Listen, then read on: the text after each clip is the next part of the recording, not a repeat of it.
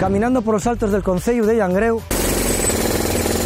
Oli, ¿cuánto pesa este nicho? Aquí lo tenemos, tomando un cafetín.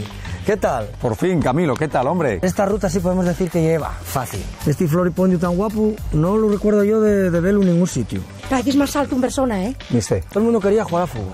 Pero yo no recuerdo a nadie que quisiera pitar. Muchas gracias, mamá. Felicidades.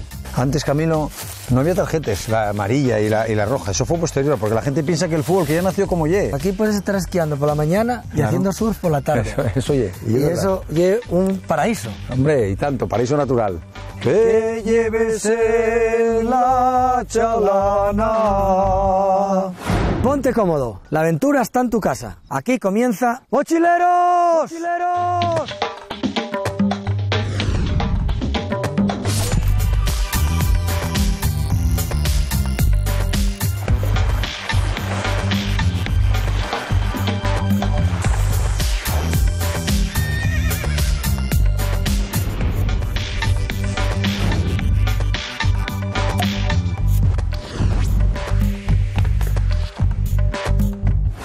Si tuviéramos que escoger entre dos profesiones, sufríes y esforzáes, probablemente muchos escogeríamos picador en la mina y árbitro de fútbol.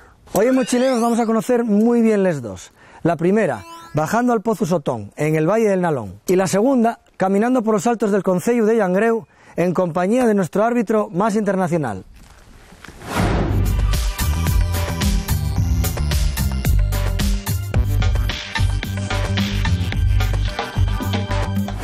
Hoy vamos a comenzar nuestra ruta de una manera un poquitín peculiar.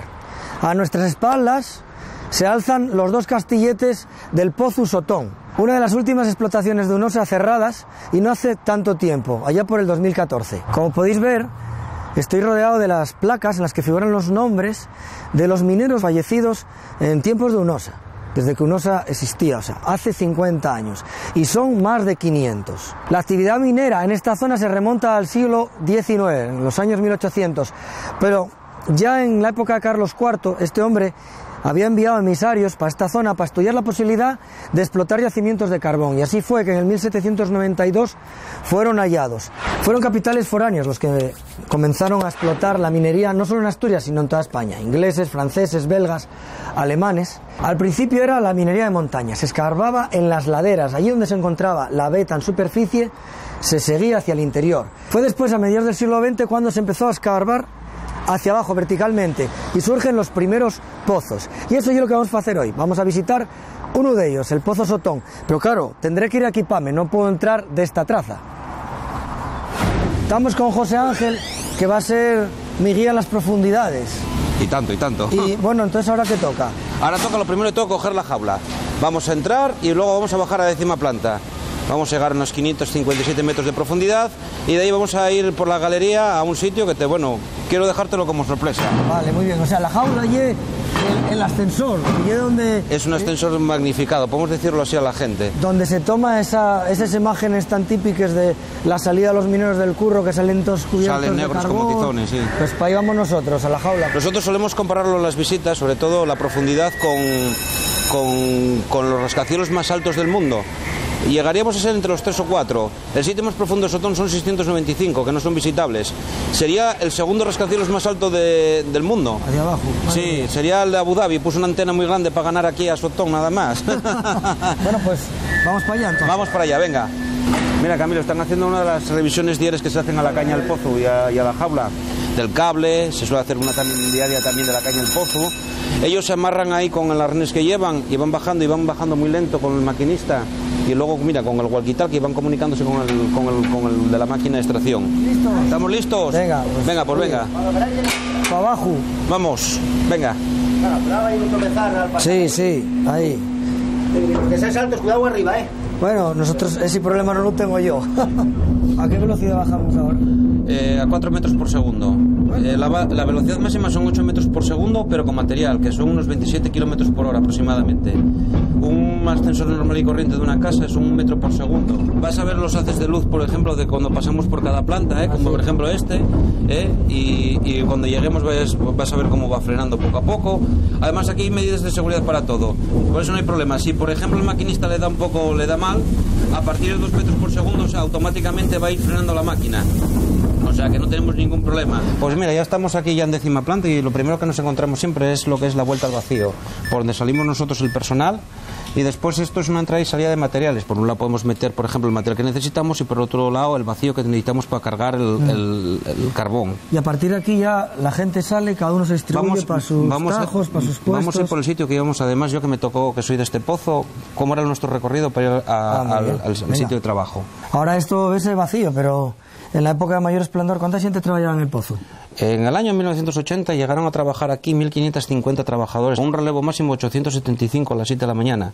El que llega, lo llamaban el relevo a la SEAT, el que llegaba tarde llegaba incluso a aparcar, a aparcar fuera. La vagoneta era el medio de transporte para todo, ¿no? Sí, bueno, esta es la que utilizamos aquí, que es la tolva, que es más que el vagón. El vagón lleva 1.000 kilos, 1.000 litros, lleva 1.000 kilos de, de material, y esta lleva 2.200, ¿no? Estos son masillas de madera que están preparadas aquí para casos de apuro, porque eh, a escasos kilómetros de aquí están explotando una capa de carbón de aquí del paquete de Sotón y vienen desde Maravisa, porque este pozo está comuni- comunicado con mm, Maravisa y Samuño. Si quisiéramos hacer un metro aquí en las cuencas no tendríamos ningún problema. Ya teníais eh, eh, les galerías hechas y les líneas hechas. Hombre, pues imagínate de aquí con 144 kilómetros que tenemos aquí de galerías y luego el Pozo Samamés conectaba por cuarta, cuarta planta aquí con, con Sotón.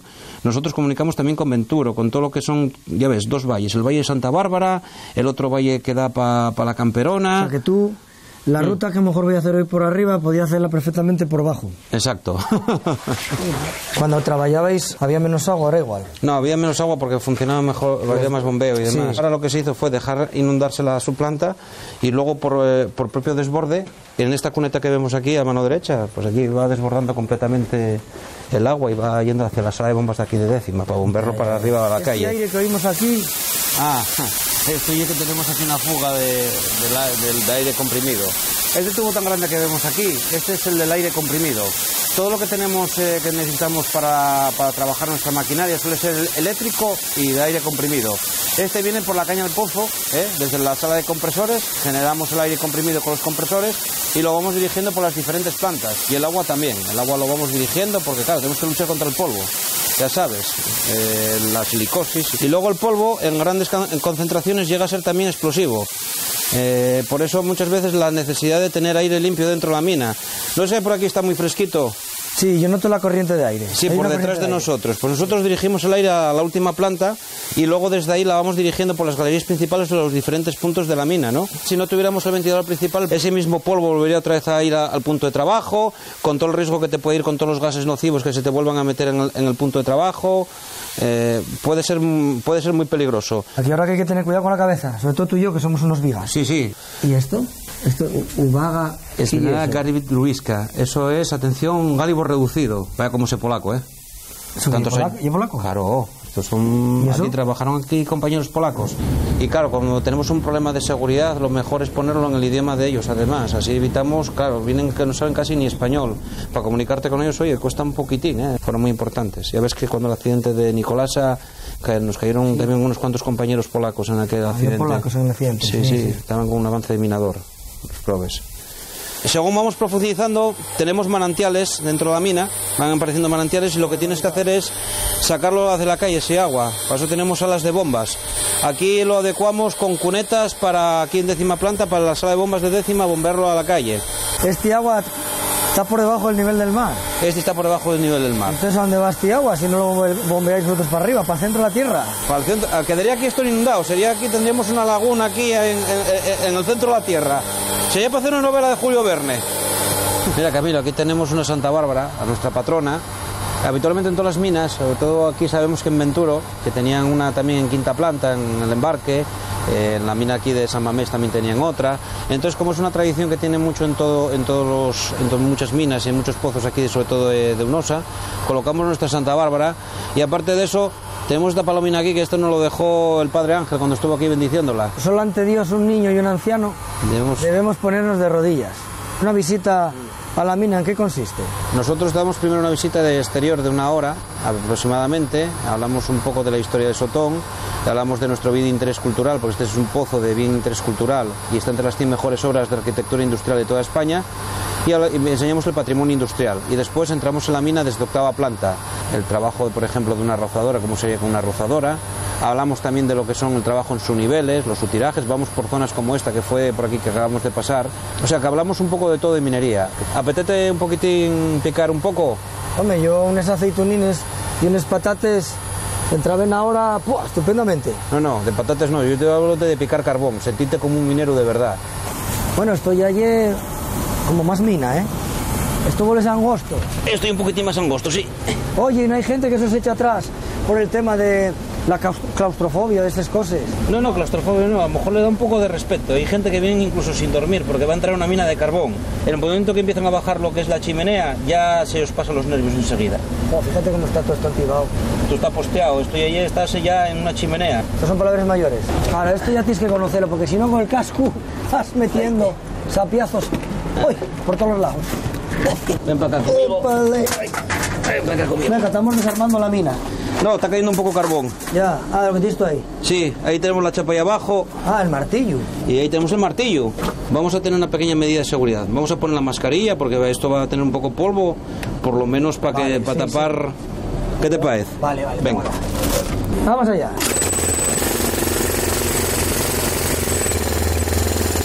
Jolín, ¿Qué? ¿cuánto pesa este bicho? ¿8 o 10 kilos? No, sí, 7 kilos. ¿Y aquí tenía que estar el paisano? Aquí debe estar pues horas aquí. 5 horas en verdaderamente. Y pica y pica y pica todo el tiempo. Picar, no, primero dar la tira, pasarse la madera uno al otro y después eh, picar. Y por último postear.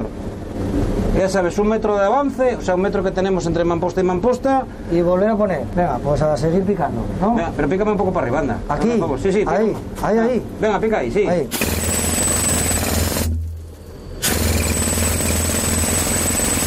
Está durillo, ¿eh? Bueno, vaya brazos que hay que tener para este trabajo.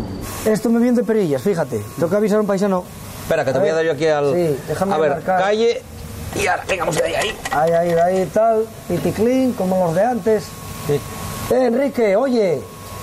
Sí, no, mira, verás que metíme ahí un berenjenal ahora y voy a llegar un poco tarde. Tomes un cafetín, ¿eh? Sí. Ah, no, no sé si es solo o no, porque aquí luz bien poca. Vale, sí, sí, no te preocupes. Eh, bueno, no voy vestido por la ocasión todavía, pero voy a estarlo. Hala, venga, chato. Venga, nos vemos. Y ahora el camino de vuelta vamos a hacerlo en tren. Los mineros lo llamamos el rápido. En esta locomotora que ves aquí, ¿Puedo conducir yo? tienes que estar examinado por minas, por Dirección Regional de Minas, para, para andar con, con un cacharrín de estos. Pero si vas por el raíz, no tienes que. No hay ni, ni stops ni cosas así, jolín. Nada, Nada. tienes- tiene que ser así. Bueno, anda. Además va a llevarnos un compañerín nuestro, Ah, va a llevarnos el compañero Lucas. Entra para adentro. Y esto pequeño, ¿eh? Ah, pero tú y yo vamos a coger bien, no, te no, tú preocupes. y yo no vas a tener problemas. Somos buenos mozos. Para allá. Venga. Venga, vamos para allá.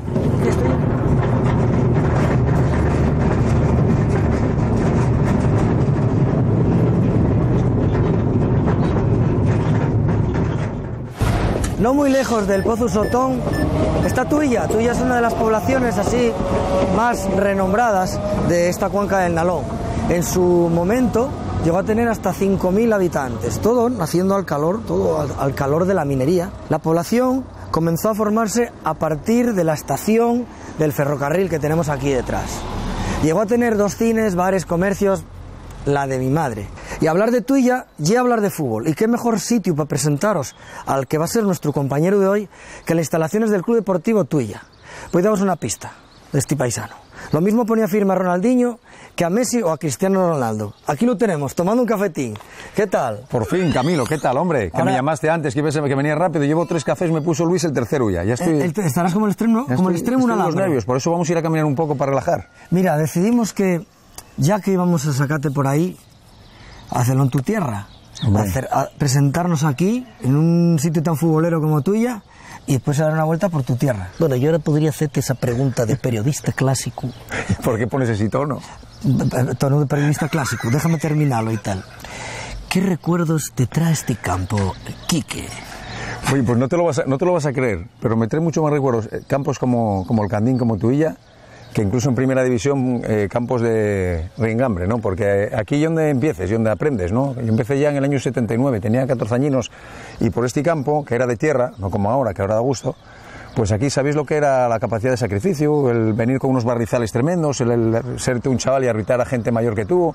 Y aquí donde vas madurando, ¿no? La gente quería que ganara su equipo, pero a la vez luego cuando ven que eres un crío, pero que tenías eh, personalidad y que decidías y que tomabas decisiones, decían, este guaje hay que tragarlo, y es duro. Además, eh, tenías altura, que eso también tiene que influir. No, de altura fui creciendo, pero con 14 añinos yo me recuerdo que era, pues me habían dicho de aquel el más joven de España por aquel entonces, en aquel año, ¿no? Entonces cuando salí, la verdad es que la gente se sorprendía, ¿no? Ver a un chaval que es mi ahí con los patuques ahí de alambre, venir primero en el tren, después venir eh, en una moto que me dejaba un vecino, hasta en bicicleta, y empezar aquí a arbitrar el fútbol base, y ahí es donde aprendes, ¿no? Nadie sale aprendido, como decimos aquí. Aquí tienes que, para llegar a chavales que empiecen esto del fútbol y piensen que tienen que llegar ya a profesionales al momento. Hay que pasar una etapa de, de formación y una etapa de reciclaje, ¿no? Y de aquel entonces yo siempre digo que a veces, eh, siempre comento peligro padres, ¿no? Más que el partido en sí, porque bueno, en el campo te arreglas más o menos, aunque si no te arrimabas a la Guardia Civil de aquella para decir, oye, hay que echar a este. Pero eh, cada padre piensa que tiene a un cristiano o a un Messi en, en sus hijos y a veces no se dan cuenta que el chavalín nada más que está con el silbato está aprendiendo igual que ellos, ¿no? Y quedabas eh, muy sorprendido. Afortunadamente la gente va evolucionando, eh, tenemos que ir tendiendo a estar un poco más preparados y a pensar que cuando vas a ver a tu equipo ganar corres el riesgo de verlo perder. Y de este pueblo viste tú salir una, salir una estrella del fútbol Hombre. nacional. Hombre, el Guaje, mi buen amigo el Guaje, un crack. Le arbitré en el Langreo cuando, cuando era un chavalín, en el Alevín infantil. Y yo, bueno, veías cosas ya en él que destacaba, ¿no? Yo le dije, Guaje, algún día igual te arbitro en primera. Y bueno, y coincidió. Le arbitré en Zaragoza el primer partido que tuvo y tuvo un detallazo porque vino al final a la caseta sin yo decirle nada y me vino con la camiseta porque recordaba que le había dicho eso, ¿no? Y esa camiseta es una de, yo creo que la más, mi favorita, ¿no? Va a ser un campo de tercera que ese gadino y regado hasta esta hierba, ¿eh? Camilín, no sé si te diste cuenta, pero oye, hierba artificial, ¿eh? Ah, y artificial. bueno, pensaba que no, que era de verdad. Pues la idea, Ye, que tú y yo, siguiendo una rutina que hay por ahí, nos encarame en algún sitio desde el cual podamos divisar la zona que conoces también. Porque tú esto tienes que conocerlo como la palma de la mano. Sí, lo intento, ¿no? Yo creo que aquí no disfruta de, relajarse. Yo cuando os veo el programa, pues, "Jolín, ahí tengo que subir yo, ¿no? Yo soy una persona que me gusta estar en la ciudad cuando tengo que estar, pero sobre todo escapar a relajarme. Y yo no sé si es por el atisbo de cuando arbitraba, ¿no? De que cuando hacéis partidos complicados, eh, un Madrid-Barça, por ejemplo, pues yo lo que hacía era, en vez de estar sometido a la presión de la gente, pues cogía y marchó a caminar por ahí a mi aire, así vas pensando en tus cosas y te concentres de la mejor manera posible, ¿no? Sí, la, la imagen que se tiene eh, de las cuencas en general, y que hay un sitio industrial, feono, y sabes, porque sobre todo por, por la decrepitud contaminación de antes, y la- porque la industria. ya empiezan los, los- los edificios a estar abandonados, la industria abandonada y tal, pero sin embargo, en cuanto te mueves un poco de esos límites urbanos, te encuentras valles como este, ¿no? Que es lo que vamos a descubrir hoy, lo que os vamos a mostrar hoy. Oye, ¿tú sabes cuánta gente ahora que se divorcia Sí. métense a hacer triatlones, pentatlones, carreras de montaña. Para echar el estrés, ¿no? Cuando en situaciones difíciles la gente se le da a veces por decir, pues ahora voy a hacer deporte. Lo principal es hacerlo que, como diversión, ¿no? Porque el deporte de alta competición a veces no es demasiado saludable. Hay gente profesional que te pueda asesorar y empezar de menos a más y ir poco a poco. Tampoco hay que querer ser campeón de nada en cuatro días. Lo primero, tener un reconocimiento médico exhaustivo y ver eh, tu capacidad y después adaptarte. Bueno, ahora vamos a entrar ya en un tema un poco serio porque hasta ahora, bueno, esto era un poco cachondeo y vamos a hablar de... Cachondeo, pero con cosas serias. ¿eh? no Hombre, tiene a nada que ver, ¿eh? y es importante tomarse las cosas con cachondeo, bueno, con, con buen humor. Pero ahora vamos a hablar un poquitín de lo que, de lo que lleva la ruta. Esta ruta sí podemos decir que lleva fácil. Tampoco llegues especialmente con tramos duros y un firme bastante bueno. En general pista, incluso algún tramo de carretera o algún caminín por arriba, pero buenos en general. Así que, bueno, no sigue siendo apta para todos los públicos, porque dentro de todos los públicos hay gente que es incapaz de levantarse la butaca, pero es asequible para mucha gente. Asequible. Esta es la fuente del monte Llerón y hizo la Faustino Antuña, ponlo aquí, en 1982. Bueno, y la fuente de Faustino Antuña probablemente damos por hecho que es el que la hizo. Claro. Bueno, es importante saber que ya al poco salir de la braña, pues hay una fuentuca, porque si olvidasteis de traer el agua de casa, podéis rellenarla aquí. Además, Furrula, está bien, está bien saber que Furrula que siguen pagando la factura y los de Aqualia, los que sean, todavía no, no ellos cortaron el flujo, el flujo. Oye, ahora me acuerdo, intento acordarme, cuando era guaje, ¿no? Aquí desde 15, 16, 14 años, todo el mundo quería jugar a fútbol. Pero yo no recuerdo a nadie que quisiera pitar. Yo empecé en el cole, estaba aquí en el EGB, en sexto, eh, Enrique, que era el profesor de educación física, Enrique Blanco, pues eh, hice un torneo en el cole, yo quería jugar también y dijo, bueno, hay que hacer un torneo, pero a mí, aunque no me gusta arbitrar, para arbitrar a los compañeros hace falta hacer un curso para que haya árbitros también. Entonces quiero voluntarios. Y nadie dice, nada, dice, Quique, tú no puedes ser voluntario, tú vas obligado. Y yo, ¿por qué? Dice, bueno, por tu carácter, yo no sé si era porque era un poco más serio que los compañeros y demás, y ya empezaba a arbitrar eh, en los torneos del cole, en los recreos, y así empecé, ¿no? Y la gente tan mal no se me daba porque decían, hombre, y pita Kikín, me llaman Kikín de aquella. Entonces, bueno, tan mal no lo haré cuando se alegren de que yo vaya, ¿no? Y Cuando bueno, ya es Kikín y no Kikón. Claro, no era King Kong. y la verdad es que el arbitraje a mí me aportó todo en la vida. ¿eh? Gracias al arbitraje, primero en el fútbol base y luego quien iba, yo siempre nunca me trazaba metas, no siempre era disfrutar de lo que estaba haciendo. En la vida de lo que haces hay que intentar disfrutar, ¿no? Como decía yo, a pesar de ser árbitro. Y bueno, ¿quién le iba a decir que llegué a ser internacional? Pero eh, a un chaval que empieza a ser árbitro, cuando los compañeros están intentando armar alguna o intentar engañarte, pues ya tienen que saber discernir. Tú cuando acabas un partido haces tu análisis, la gente piensa que, que el árbitro que se va para casa está tranquilo y nada más lejos de la realidad. ¿no? Quieres hacerlo lo mejor posible, no tienes ningún interés en que gane uno o gane otro, sino simplemente en hacer tu trabajo bien y que al día siguiente puedas ir a trabajar o puedas ir a tomar un culín de sidra o puedas andar por tu pueblo y que nadie te tenga que decir los errores que tuviste, aunque siempre hay alguno que te dice lo negativo y nunca lo positivo. Vamos a intentar demostrar que eso de que todo tiene un principio y un final no es cierto. Y aquí tenemos un tronco viejo de castaño que a pesar de haber sido herido por el hacha criminal, pues sigue brotando. Aquí tenemos los castaños que brotan del tronco original, eh, que además ya están echando la follina, y del tronco que está empezando a pudrir, pues tenemos el musgo y los arándanos. Mira dónde puedes venir tú por arándanos. Todos estos son arandaneras. Un día este tronco desaparecerá para dar paso a otras formas de vida, pero nunca hay un, un corte, como cuando cortamos aquí la escena. No, no, son transiciones. Mira, una curiosidad que yo no, que yo no sabía, del el concello este aquí al lado, San Martín del Rey Aurelio, llámase así porque eh, fue capital de Asturias durante unos añinos que el rey Aurelio desplazó la corte aquí a, a esta, zona. Yo siempre había pensado que las capitales habían sido Cangues de Onís, Pravia y Oviedo, pero resulta que también San Martín tuvo su momento de gloria. Hombre, nuestros amigos de ahí del- de San Martín, hay que tragarlos, son los vecinos y les cuenques, ya te dije yo que éramos muy importantes, aunque no lo pensaras. Oye, no salimos mucho en, las fotos, pero tenemos de todo aquí. Sois de la Yet. Este floripondio tan guapo no lo recuerdo yo de, de verlo en ningún sitio. ¿No sabes que no hay de aquí? ¿Qué- ¿Por qué lo sabes? Por las guías de flores Sí, y por, ¿no? ¿Te has porque informado? nunca lo viera hasta ahora. Pero, Pero no, el, no- paisano, el paisano que puso la grana aquí sería igual era de aquí. Bueno, ¿Alguien lo otra plantó? cosa, seguro. Pero mira, Claro. este aquí detrás hay un castaño de Indias. También, ¿eh? De fuera. que tampoco son de aquí. Tú fíjate que estos ya tienen, el castaño de Indias ya tiene la folla afuera, bien abierta. Y sin embargo, el castaño, Está todavía sin... por decir nuestro, todavía está sacando la folla. Y eso que el castaño nuestro trajeronlo en la época los romanos. Tampoco allí que sea, lleva dos mil años aquí haciéndose el clima. Pero bueno, eh, presta ahí. Presta ahí porque ya sabes, el castaño tiras una castaña por ahí y vuelves a los 100 años y tienes un castañar. No, pero dos mil años, oye, no son dos años. Ya se puede decir que es de aquí. Ya, puede- ya podemos dar el permiso y decir Sí, hombre, que es sí. autóctono o no. Yo no, no soy xenófobo y no voy a quitar la seguridad social ni la asistencia sanitaria, ¿eh? Oye, no pudo ser eh, fácil para un guaje. Nació en la felguera, además tú perdiste a tu padre muy de crío. Sí, no, Eh, meses. salí para adelante. Sí, la verdad es que, como bien dices, la vida a veces tienes que pelear con lo que te ofrezca, ¿no? Y- pero la verdad es que tuve una madre que no la cambió por nadie porque fue, es un ejemplo de, de superación, ¿no? Eh, pues imagínate, como bien dices, mi hermana un año y pico, yo cinco meses, tener a dos chavalillos, a dos críos que, que sacar adelante, bueno, con la ayuda de, de los vecinos, de familia también, que nunca nos dejaron abandonados.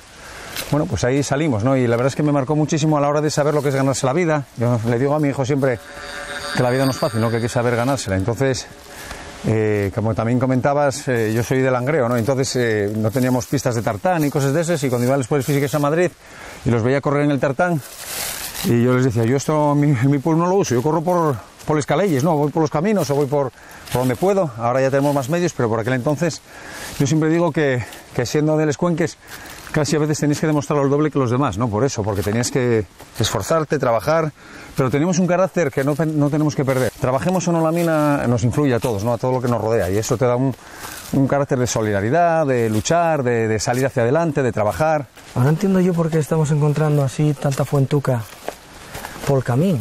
Sí, fuente y lavaderos. Antes sabes que para ir a por agua, ¿eh? tenían que caminar y venir con ella a cuestes. Sí, no, todo el mundo tenía. Ahora tenemos el agua en casa. Es que no sabemos lo que hay, no lo valoramos. Agua y luz. Agua caliente, o sea. Claro, claro. Y después de sentarte y tal, tires de la cadena y se va para abajo. Claro, es que claro. soy un lujo. Yo me acuerdo del, del olor a carburo todavía, hidrocarburo, ¿eh? de, de la aldea donde mi madre, en Galicia, y de pasar por donde el ganado para ir a la, a la, a la cocina, bajar aquella mesa para abajo donde 12 hermanos, imagínate, todos ahí con la, toda la familia ahí comiendo, y sin luz y sin agua, ¿eh? Y teníamos que arreglarnos como pudiéramos, y al río y a la fuente, y a mí me tocó vivirlo cuando era un chavalín. Y, Y- bueno, y son- al mato. y- y donde pudieras. la- pero la verdad que lo que valía era para unirse toda la familia, ¿no? Se hablaba más. El otro día fui a tomar un café a- y a leer un poco la prensa por la mañana para relajarme un poquitín y un matrimonio que tendría más de 60 años, pues yo pensé que eran solo los chavales. Pues eh, el, el- el marido estaba con la tablet y la mujer con el móvil. Y digo, oye, ¿en qué quedamos, no? Al final no, no se convive, no se habla, nada más que estamos atentos a la vida de los demás y no disfrutamos de esto, ¿no? Por ejemplo, como hoy, de una ruta de montaña, de hablar, de disfrutar, de, de conversar. Tú y yo venimos de ahí abajo, de Baraña. Donde la baña el río, Trujilla. Y entonces la, la felguera, ¿qué Ahí, tal? mira, se ve la chimenea allí, ¿no es? Ahí de la Ah, térmica. Aquí se ve detrás, muy de, bien. aquí detrás de estos cuatro escolinos aquí, Sí, ahí ahí está la detrás. chimenea, ya. sí, sí. Aquí del fondo y el Aramo, la Sierra del Aquí se ve ahí con nieve todavía un poco, ¿eh? Sí, con la mostallal al final. Y esto y este cordal y qué tal. El otro lado está yo niego. Y aquello de allí, ¿qué sería? Entonces es casi Pues de ahí a la derecha. ya la zona hacia Carballín, y la zona ya el valle, pasando el valle de Siero, por ahí enlazamos, es que este valle desde aquí enlaza con varios sitios, ¿no? Y luego aquí arriba con la Camperona y con el valle de Vimenes y... Mira qué guapo. Qué guapo están las cerezales, mira, blanques. Fíjate desde aquí. Muchos árboles frutales dan primero la flor y después la, la folla. Por ejemplo, el almendro, que primero da el turrón y después la folla. Ya quisiéramos. Sí, aquí sí, ¿eh? Aquí que yo tengo aquí un tema, yo tengo un tema personal que lleve mi relación, bueno, mi relación, la búsqueda incansable por, por, por entender quién lleva la vía Espelucia. Un personaje que no figura en la mitología asturiana, no lo entiendo muy bien. Yo espero que de aquí a 20 años, en el siguiente libro de mitología asturiana, pongan la vía Espelucia. Y yo creo que Igual vivió aquí, ¿eh? O sea, por ahí, mira. tiento la pinta. Tiene ahí el mantel y todo ahí colgado, ¿eh? Vamos a echar para allá. Madre mía. Esto recuérdame a la, a la cabaña donde vivía el Tomasín. Oye, oye, tú esta mesa, de, tú que eres ebanista, igual no puedes, puedes hacer algo aquí. Madre mía, todo lo que hay aquí. Esto lo ve en la televisión, mira. No, estos decidieron que, mira, mira. que había que ponerla mirando para abajo. Una bombilla. Bombilla y. De los años Maricastaña. Mira, fíjate, Ah, el casquillo. sí. Yo noto que, que esta mujer era la típica cabrita que robaba los paraguas en la biblioteca a la gente. Mira pa' ahí. Ahí seguro que está el mío. A mí me robaron el paraguas en la biblioteca. Y tuvo que ser ella. Mira dónde está. Igual- y uno de mira estos. si uno de esos es el tuyo. Madre mía, todos los que hay aquí. Siempre supe que tenía el síndrome de Diógenes. igual está arriba. Está muy, igual está arriba. Pues igual, igual Quique, igual no, para arriba no sé yo. Igual la escalera no aguanta el peso de un paisano, ¿eh? Vamos a ver. Igual más no subir, ¿eh? No sé yo. Está todo apolillado, fíjate. Ya más activa, que se ve todo el polvillo. Mira para arriba, mira para ahí, oh, mira para ahí. ¡Ay, madre! Me cago en la mar, si no pensé que era la vieja, percibo una presencia maligna. Sobre todo, les grietes en las paredes y que no sé si este tablazón aguantará el peso de un paisano picador de mina como yo. Más dejado no contar a los espíritus. Bueno, Quique, de todas maneras tengo que apuntarla en el catálogo de posibles refugios y escondites de la vieja Espelucia. ¿Tú tenías alguna vinculación con la mina por algún familiar? Yo creo que el por- de una parte directa o indirecta, eh, la mina está en el día a día, ¿no? Y te marca. Y, y yo tenía un tío, por ejemplo, y me acuerdo cuando era chiquitín que lo fui a buscar, fui a verlo con mi tía, íbamos a esperarlo, y tendría yo cinco o seis añinos, no, no, no más. Y recuerdo además eh, que quedé muy sorprendido porque no lo conocía, porque salían todos, era hace muchos años que, bueno, la silicosis y demás, salían todos con la cara negra, negra, y no sabía cuál era mi tío, ¿no? Solo veía lo blanco de los ojos. Y esa es una imagen que no olvidaré, ¿no? Y luego también Duro Felguera, cuando se empezaba, pues ir por la calle y ver a, cuando tocaba el pito, cuando iban a trabajar miles y miles de personas, cientos, eh, con la funda que hicimos o con el mono de faena de trabajar, ir a trabajar, ¿no? Eso, desgraciadamente ahora, por el tema del futuro y del empleo, pues ahora eso ya no, ya no ocurre, ¿no? Hay que intentar dar pasos, avanzar en las nuevas tecnologías, tratar de que los chavales tengan oportunidades aquí, pero hay que pensar en global, ¿no? Yo que ando de viaje por toda Europa con el tema de, de ver partidos, pues eh, no tengo problema en coger la maleta y moverme, ¿no? Igual que gente puede venir aquí, por los que tenemos hijos, pues hay que asumir que el día de mañana pueden estar aquí en otro sitio, ¿no? Y dar calidad de vida, sobre todo, a la gente que tenga la suerte de poder vivir en, en estos entornos, aquí. ¿no? Y que estás a 20 minutos de cualquier sitio. Entonces, bueno, pues hay que dar calidad de vida para que la gente, si puede trabajar cerca de casa, mejor, pero si no, como yo tengo que ir todos los días a Oviedo y son 20 minutos, ¿no? Tampoco tardas tanto. Partiendo de esa idea de que ahora lo más seguro es que nos tengamos que ir en algún momento de nuestra vida, bueno, ya no digo nosotros, pero, pero sí la gente más joven. Vete a Italia, yo que sea China, Estados Unidos. Pero para eso hay que aprender alguna otra cosa que no sea solo el castellano el mal castellano que hablamos o incluso el mal asturiano que hablamos. Está claro, ¿no? Yo creo que aparte de defender, que somos muy defensores de nuestra tradición, que no se debe perder nunca, hay que abrir fronteras, ¿no? Y como decíamos antes, hay que pensar en general, en genérico, y no sabes nunca lo que te puede pasar, ¿no? Yo, nuestro ejemplo, yo cuando vi que me gustaba el fútbol, pero aparte del fútbol me gustaba comunicarme, ¿no? Los chavales ahora ya se mentalizan de ello, estamos evolucionando, que hacía falta, porque íbamos bastante atrás, estamos evolucionando en el tema de idiomas. El viajar es una escuela de la vida. En todos los sitios se aprende. Y yo no encontré ningún sitio que no hubiera algo positivo que buscar en ellos. No, no podemos pensar que lo nuestro, que es muy bueno, que como ya lo tenemos mejor. esto, exacto, hay que conocer otros sitios y hay que conocer las necesidades de otra gente, hay que conocer otras culturas, porque eso al final te enriquece y te hace que abras mundo, ¿no? Y que abras puertas y que abres la mente, aunque luego defiendas lo tuyo y digas, yo soy asturiano hasta la médula. Y claro, no hay que caer en el error, es decir, que hay mucha gente que marcha a vivir a otro lado y solo ve lo negativo y entonces nunca disfrutan. Ya, ya lo Claro. decía Pío Baroja, Pío Baroja decía que el nacionalismo se cura viajando. Por supuesto, así es. Mira, hay una serie de cosas por ahí que a mí me molesten mucho. No hay que, ser una- no, que yo sea repugnante, pero hay cosas que, que me indignan, ¿no? ¿Tú tienes alguna de esas cosas? No sé, ¿tienes alguien a quien sacarías una tarjeta roja ya así, nada más empezar el partido? Pues a mí me pasa como a ti, ¿no? No sé si es que te revelas ante, no sé, ante tantas cosas. Yo creo que sacaría muchas más tarjetas en la vida real que en, el- que en un partido de fútbol. Cada día los principios están más ausentes, somos más intolerantes, no respetamos a nadie. Yo creo que aquellos que no saben que todo el mundo es igual, cada uno tenemos en la vida nuestra posición, pero hay que saber eh, comunicarse unos con otros, entendernos e intentar avanzar, ¿no? Y no ser tan críticos con todo el mundo y pensar que nosotros somos los mejores y los demás no son nadie, ¿no? Creo que hay que ser menos intolerantes y, soy, como te decía antes, más globales e intentar apoyarnos unos en otros para intentar avanzar, ¿no? No estar siempre tirándonos piedras y al final no avanzar, ¿no? Buenos días. Hola, ¿qué, ¿Qué tal, hombre? Mejuto, ¿eh? Sí, aquí- El árbitro, el exárbitro. Aquí con- Y el de mochileros. Vaya los que nos juntamos Sí, aquí. Sí, sí. ¿Y camiseta reivindicativa? Sí. Bajamos hoy a Sotón, ¿Y qué te pareció, la mina? eh, oscura. Es que...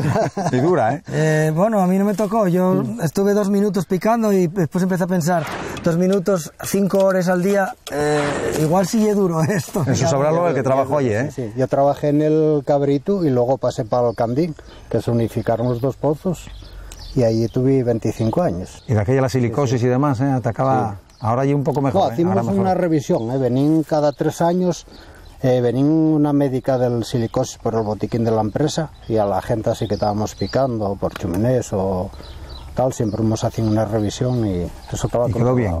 Mira, tengo sidra de casa, si queréis tomar un culín. Entonces yo doy por hecho que la, Camilo, venga. la sidra y diurética, tío, pues tendrá que Venga, verás, sidra. verás qué diferencia esta sidra. Y además estoy de casa, esto no tiene. Hala, venga. Ya traje una camiseta propia, mira. Ay, ya, sí. Asturias Estancia Sidra. Sí, mira qué guapo. ¿Viste? Sí. Ah, ¿Y esto también yo de casa? Sí, sí, ella es mi cuñado Felipe de la Camperona. ¿Pero qué Ella es cazador. ¿Qué de jabalí? De jabalí. ¿De chavaril? Sí. De jabalí. esto, ¿eh? Sí, sí. Oye, Ahora ya parece que luego camina uno mejor. Sí, ya lo verás, como, como ya Ya vais. Cómo espabiláis más. Pareces más alto en persona, ¿eh? ¿Viste? Yo casi a ti te veo más normal, pero a él normal. veo lo más alto. tú ya no ya estás normal. ¿Eh? No, quiero decirte de alto. No, no te estoy diciendo de... Ya, ya, ya, ya. Sí, sí, sí. Bueno, encantada de veros, ¿eh? No vamos. ¿Qué pintáis aquí? Vaya. Porque dame yo aquí... ¡Hala! Joder, estas cosas eh, Presten. que sigan así, siguen, o sea, sigues teniendo fe en la humanidad después de estas Claro, cosas. no, no, yo, yo siempre, eh, porque además es que es increíble el cariño de la gente y, y luego el que lleve futbolista o el que lleve eh, Alonso en Fórmula 1, gente deportistas de élite, pues bueno, están muy acostumbrados, pero yo me quedo, cuando te dicen, ¿con qué te quedas? Yo no me quedo con pitar un Madrid-Barça, una Eurocopa, un Mundial, ¿no? Yo me quedo con el cariño de la gente y eso se demuestra, hoy lo estamos viendo que la gente, jolín, a pesar de ser árbitro, pues eh, les presta cuando arbitrabas y yo recuerdo cuando una anécdota cuando quedé, bueno, cuando pasó el tema aquel del Mundial por unas pruebas del asistente y demás, recuerdo en Oviedo Cuando te perfectamente. quedaste fuera del mundial. Sí. Vale, sí, Fue un me momento complicado sí, y duro, porque yo, tú habías hecho tu trabajo Y bueno, son decisiones que se toman y recuerdo perfectamente que un señor, sin conocerlo de nada, para un coche en el centro de, de Oviedo, en, plena calle, y para el coche, deja el coche y me viene a dar un abrazo, ¿no? Y dice, Joli, no, no lo entiendo, lo siento mucho por ti y demás. Es una pena que hayas perdido esa oportunidad y demás. Y se, y se fue, no sabía quién era el tío.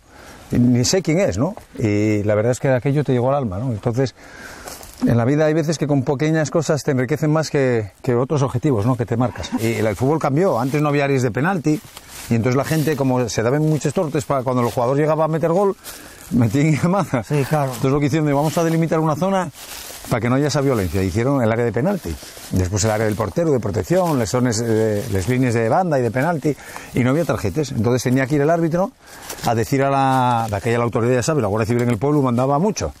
¿No? Y entonces vives allí y decides, oiga, el fulanito tal, el número 8, eh, tiene que estar fuera del campo. Y me acuerdo de un árbitro de aquel entonces que yo iba de línea con él, eh, ya murió el pobre, y le dijo una vez a la Guardia Civil, el número 6, tiene que ir fuera del campo, expulsado. Y dijo el, el mando de la Guardia Civil, dijo, no, no, 6 no. Mira, a ver, tiene cualquiera, el 1, el 2, el 3, el, el, el 7, el 8, el 10. Dice, no, no, pero fue el 6 el que me insultó. Dice, mire usted, hombre, el 6 es el hijo del alcalde del pueblo. Si, si, si luchamos, nos maten aquí. Y al final, bueno, echaronlo, pero costaba. Y antes tenía que ser ir allí a la Guardia Civil y decir, este señor fuera. Yo lo de la rivalidad no lo entiendo muy bien porque no sé cómo llega el resto del mundo, pero en Asturias ya es terrible. A mí en una Copa del Rey de fútbol que se jugó en el Molinón, un Sporting Oviedo, casi, casi me canean por el hecho de ser del Oviedo, pero más que para encima nos habían ganado.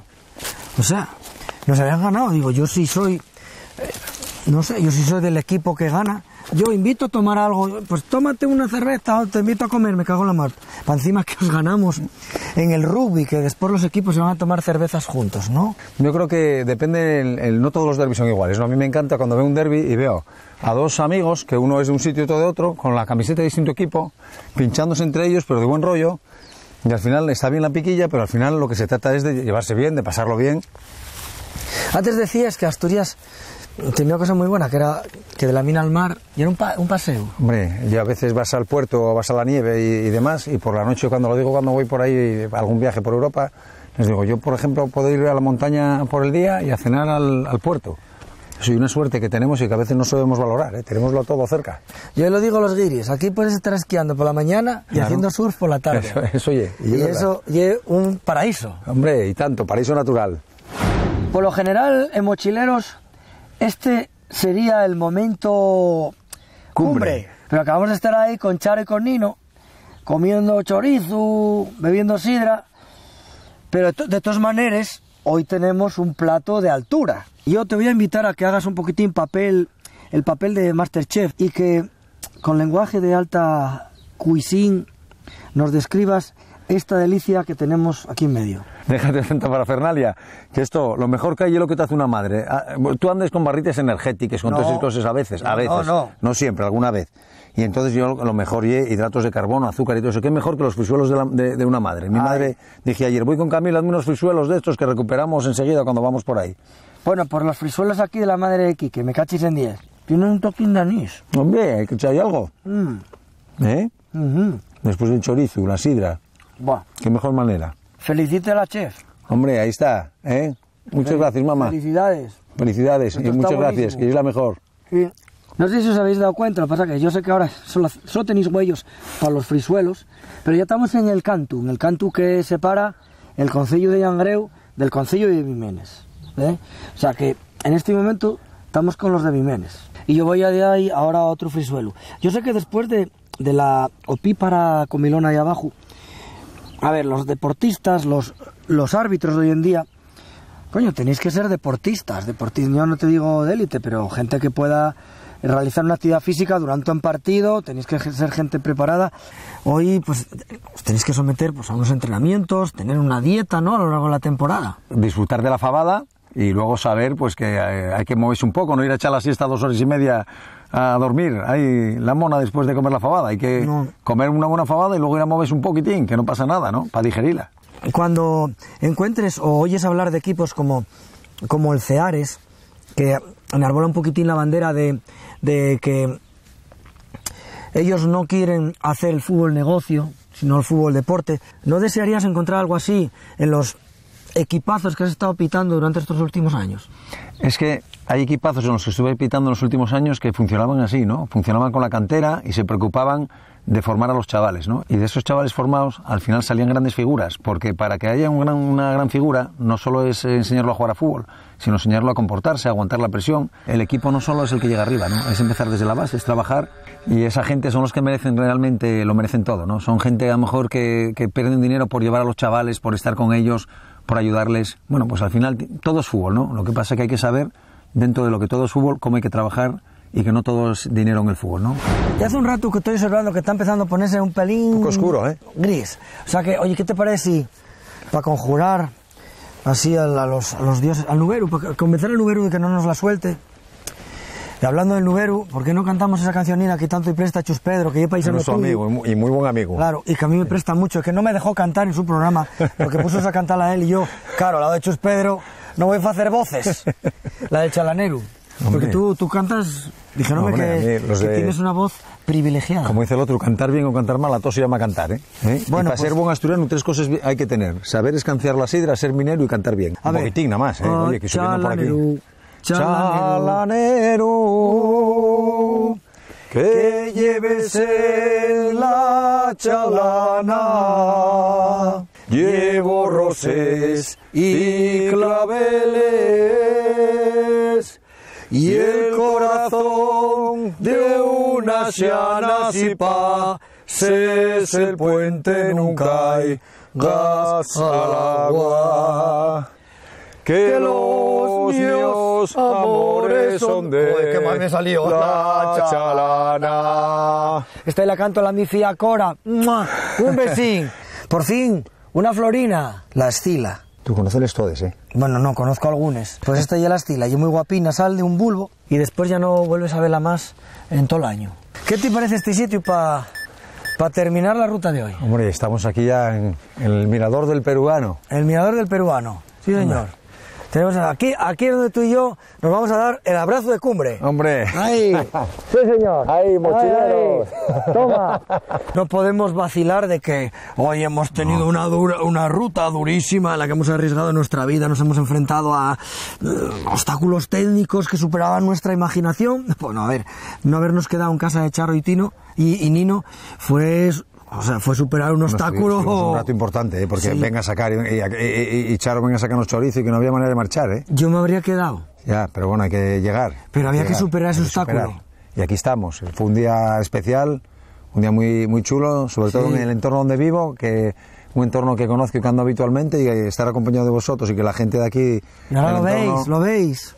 Sí, señor, pues eh, un placer de verdad y es un momento también, igual que habláis de arbitrar partidos, este va a ser un partido importante y una- un recuerdo Bueno. muy importante. Pues ahora vamos a sacar la cámara pequeñina para que se vea Sí. realmente el entorno.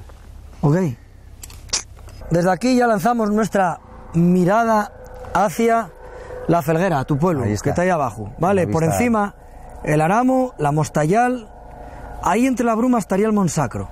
Ahí para el fondo habría un montón de sierruques por la zona de Grao, de Yermes y Tameza, el Naranco, la ruta de la guerra civil, el Gorfolí, por ahí Avilés, allí Peñas y Xixón, aquí enfrente tenemos el Pico Fariu, ahí, bueno, el Pico Fariu, el Fariu, ahí con la peña en los cuatro sueces, toda esa zona de Siero.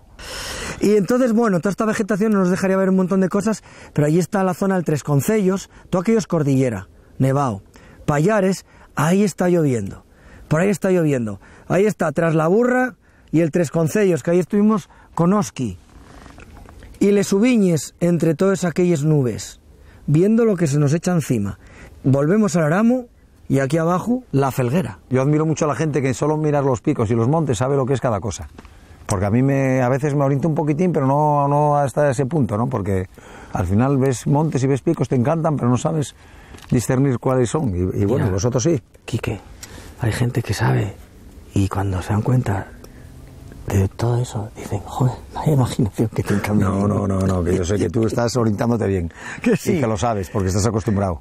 Bueno, venga, Cada uno pues- sabe de lo suyo. Oye, volvemos a casa de Charro y Nino, tío. Marcharemos ya para Venga, allá. Otra vez será mucha cara bajar otra vez allí. ¿no? ¿Qué va? Dejamos allí chorizo y de Hombre, mi madre. iré yo otro día, hombre, no vamos a ir otra vez Ah, ahora. ¿Vas a volver tú otro solo? día cuando suban bici mí. yo, paro yo a comer una Claro, rosquillina. ¿no te Un fastidia? culetín.